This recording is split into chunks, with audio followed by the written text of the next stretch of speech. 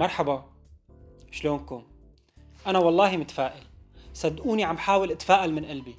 هلا النظام معروف من يوم يومه إنه خبيث وبيلف وبيدور وبحياته ما صدق بشي. ومعروف عنه كمان إنه حتى بالنشرة الجوية بكذب. درجات الحرارة المتوقعة آه، هذه الليلة وغدا نهارا في مدينة دمشق والمنطقة الجنوبية ناقص 2 آه، خلال الليل 3 درجات غدا نهارا. وهذا الحكي مو جديد بالعكس هذا من أيام القائد الخالص. ها؟ طلبت روحه يا سبحان الله عن جد الندل بضل ندل. هي الشغلة متوارثة بالجينات من القائد الخالص للوريث القاصر وانت نازل. يعني الجريمة القديمة ما بتمحيها جريمة جديدة بالعكس. هي لازم تضاف إلى سلسلة جرائم بيت الأسد بحق الشعب السوري.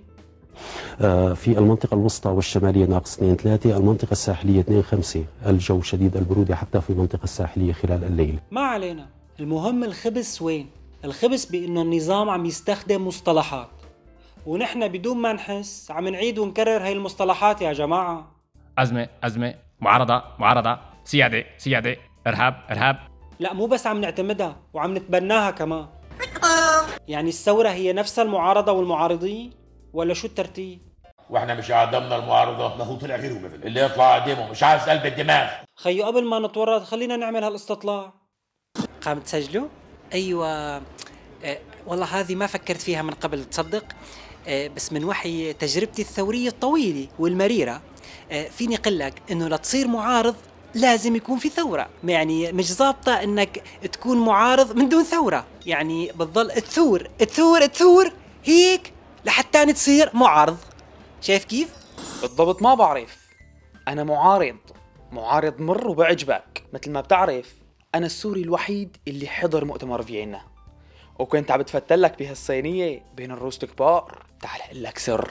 كيري طلب مني شوية كليجة كأنه بيحبها مع الشاي ما بعرف. قلت له أنا ماني داري لو إني داري كنت جبت لك. ولافروف قضاها شرب مي كل القعدة. الله وكيلك. كل ما ينحصر بالزاوية بالمفاوضات ما تشوفه غير.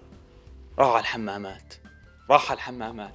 يا زلمة عمل حشتة. الله وكيلك. ما علينا. نرجع لموضوعنا.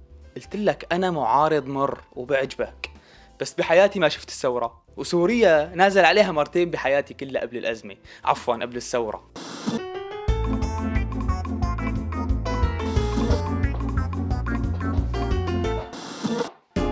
شو بكون شو قصتكم؟ والله هلكتوني تصوير. شوفي شو بده يكون في هالصندوق يعني؟ شوية عدس وبرغل ومزبطة واحد بالحكومة المؤقتة. أخذت علبة سردين. إيه الله يخلي لنا الحكومة المؤقتة. عم تصرف لنا إعانات. إيه والله. بس والله هلكتوني. خلوني روح على بيتي. الله يوفقكم. آه انتو غير جماعة يعني مو نفسكم اللي صورتوا معي من شوي؟ إيوه. هات لشوف. خير إن شاء الله. شو الفرق بين الثورة والمعارضة؟ قلت لي. حبيبي الثورة كانت رح ترجع لنا البلد. المعارضة شوفت عينك؟ عم تعطينا عدس وبرغول. خليني روح اعمل لي طبخة لأني مخورة من الجوع. يعطيكم العافية. شو بدي اسألك تعرف لك شي مهرب شاطر ابن حلال؟ يطلعني شوفير بالبلام.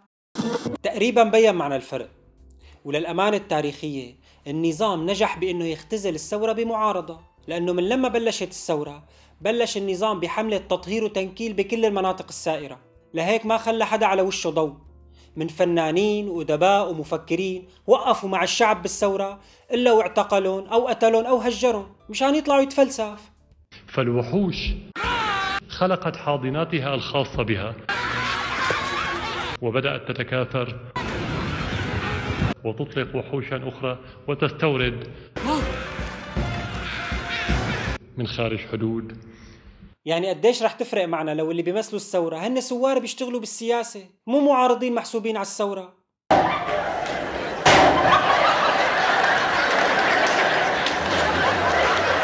باختصار المعارضة بتكون لنظام سياسي شرعي لأنه هي فعل سياسي شرعي بأي دولة. بس عنا بسوريا الوضع غير. حبيبي الشعب مو معارضة. الشعب هو الثورة والنظام هو معارضة. الثورة هي الشرعية مو نظام الحكم والتوريث الطائفي والمنحبكجية كذلك في شمال الخليج تحدث أمطار محلية أحيانا الجو غائم جزئيا إلى غائم أحيانا ودرجات الحرارة بحدود معدلاتها. توحيد المعارضة. هلا بلش اللعب بالمصطلحات. ما تدريد ولا كده ما في غير منين ما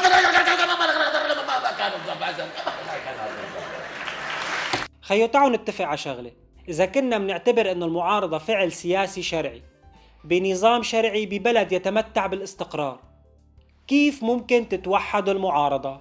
ما هو كل معارض أو حزب أو تكتل عنده رؤية ووجهة نظر لحكم البلاد وتزاوج المشكلات تجاوز المشكلات.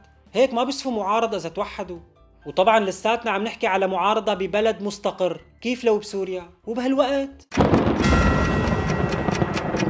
خيو تعالوا نفترض إنه مؤتمر الرياض نجح وتوحدت المعارضة وتتساقط الثلوج الغزيرة في مناطق البحر الأسود وكذلك في غرب روسيا حيث تنخفض الحرارة إلى أكثر من 20 درجة تحت الصفر على غرب روسيا مين رح ينفذ مخرجات هالمؤتمر؟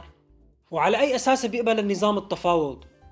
ودخلكم هالمعارضة إلى قوة تأثير على الأرض؟ خيو على فرض وافق النظام هالمعارضة الموحدة كيف رح تطبق مخرجات هالمؤتمر؟ أنتو أكبر قدر مناع أبدى تشاؤمه من نجاح المؤتمر معتبرا أنه سيكون حقل ألغام وقنابل عنقودية وكل عناصر الانفجار موجودة فيه. أيوة. المعارضة اللي على مقاس النظام. هي الأكثر تأثيرا. بس ليش يا حزركم؟ لأنه إلهم مين يمثلهم على الأرض. نحن سوف نبقى النسور الأوفياء بقيادتنا الحكيمة وبأمرك. فطالما ناديتكم في السماء وها أنا ألتقيكم على أرض مقدسة.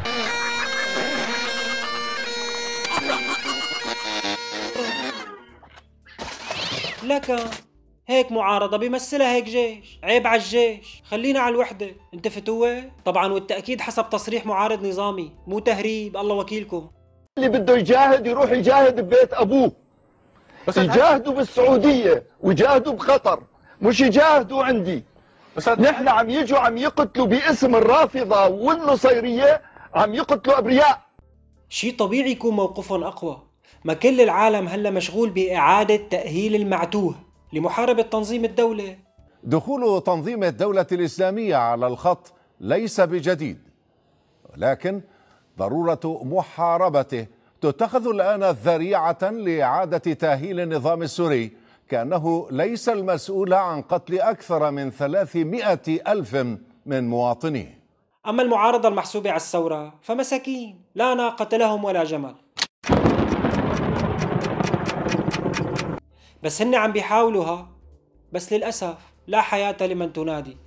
والسيد خوجة خالد طالب وتمنى من النصرة أنه تفك ارتباطها بالتنظيم تنظيم القاعدة ولكن جاء الرد قاسيا.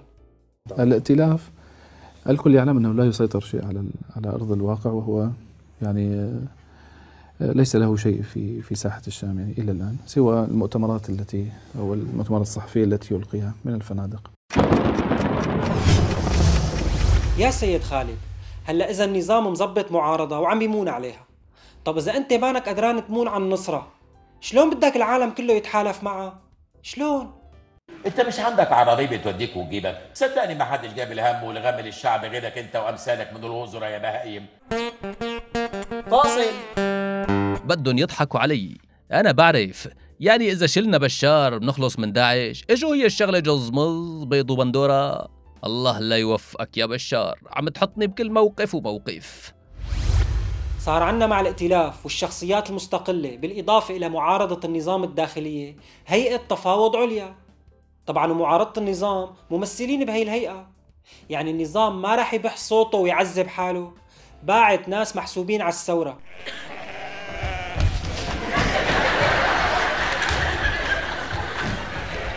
وهن رح يسهلوا له الطريق. يعني قاعد بحضن الثورة وعم بينتف بدقنا والنظام ما في داعي يعطي رأيه بمؤتمر الرياض. خلص الزلمة مكتفي بتصريحات وزارة الخارجية الروسية. مريح راسه. لأنه هو مشغول بشغلات أهم من هيك بكتير. إيه والله. يعني هي من باب الاجتهاد. العمال والفلاحين. الفلاحين خبر للفعل الماضي الناقص البداية كون. الفلاحون صحيحة والفلاحين صحيحة. والأصح والأدق. والأصح والأدق هي الفلاحين. ناقص في حرف عطف بيناتهم واضح. يجب أن تقرأ المادة على النحو الآتي. تتكون مجالس الإدارة المحلية من ممثلين عن القطاعين الآتيين ألف. العمال والفلاحون. قضي الأمر الذي به تستفتون يمكن هالطبخة استوت الطبخة محروقة. بس صار لازم يطفوا النار تحتها. لأنه الحجة ميركل صرحت بأنه لا يمكن لبشار الأسد أن يكون شريكا بمحاربة تنظيم الدولة. ليش؟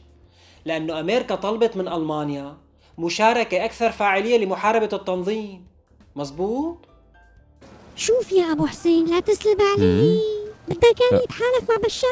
أه. لك وين بدي اخبي وشي من اللاجئين هون لك هدول صاروا عندي الميات الآلاف. والله إذا يا. تحالفت معه لينزلوا على الشوارع ويطالبوا بإسقاطي. خير خير. ويمكن أنا وقتها كمان أطلع لجوء. الله يخليك لا تورطني. أوعى اوعك ها. كل العالم عم بيشارك بلعبة توحيد المعارضة. ليش؟ لكتم آخر نفس بالثورة السورية. لك حتى الأردن الشقيق. الأردن! صار يحط قوائم وتصنيفات. عيب على القوائم. هذا كل شيء على الأحوال الجوية المتوقعة. الآن أترككم مع جدول بكمية الأمطار آه، الثلوج التي حولت إلى آه، أمطار في مختلف المحافظات آه، حتى الساعة الثانية بعد الظهر اليوم. شكرا للمتابعة وإلى اللقاء. هلا الشيء الوحيد والثابت إنه الثورة رح تضل ثورة لأنه ثابتة. والمتغير هن المعارضة والمعارضين. معارضين يعطيكم العافية.